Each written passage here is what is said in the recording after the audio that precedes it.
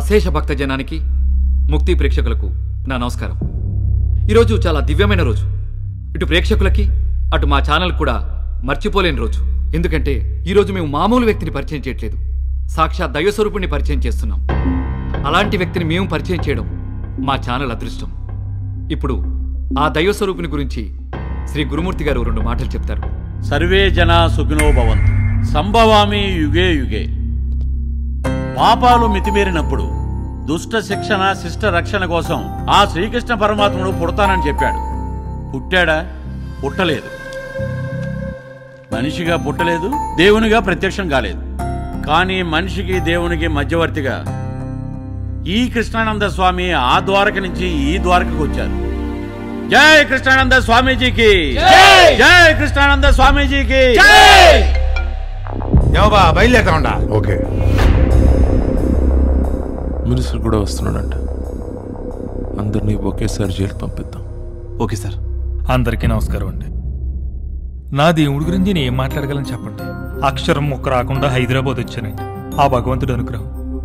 ఈ భగవంతుడి దర్శనం వల్లే ఈ రోజు నేను మీతో ఇలా మాట్లాడగలుగుతున్నాను. ఈయన నా కోసమే వచ్చిన సాక్షాత్తు కృష్ణ భగవానుడు. జై కృష్ణానంద స్వామీజీకి. ఇప్పుడు ట్రస్ట్ సభ్యులు లాయర్ రవి గారు మాట్లాడతారు. ఈ దేశంలో కోర్టులు నేరం చేసిన వాళ్ళకు శిక్షలు వేస్తున్నాయి. ఎన్ని శిక్షలు వేసినా నేరాల సంఖ్య తగ్గట్లేదు. ఎందుకు? అంటే మనిషి అనేవాడు కోర్టులకు శిక్షలకు భయపడట్లేదు. మనిషి ప్రవర్తనలో మార్పు తేవాలని ఇలా మన ముందుకు కృష్ణానంద స్వామిగా వచ్చారు. జై కృష్ణానంద స్వామికి.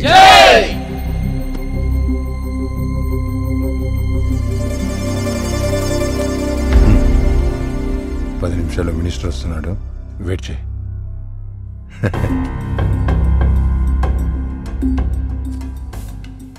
పోలీస్ ఎక్కడ?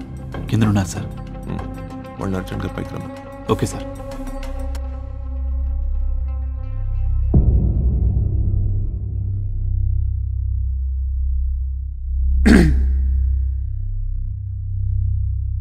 అందరికీ నమస్కారం.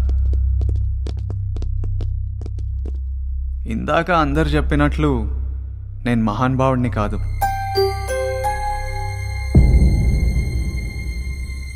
అలా అని మహిమలున్న దేవుణ్ణి కాను.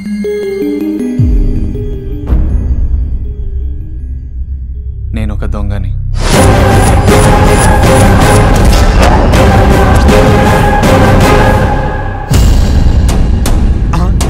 ఏందే? బాబా దొంగ అని చెప్పినాడా? ఒరే బండి ఆపా ఆపు బండి. ఒకరు నా నుంచి నిజం కావాలన్నారు.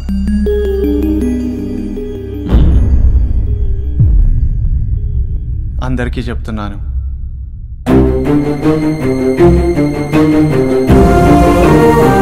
నా దగ్గర ఉన్నాయి రెండే నిజాలు. ఒకటి నా ప్రేమ.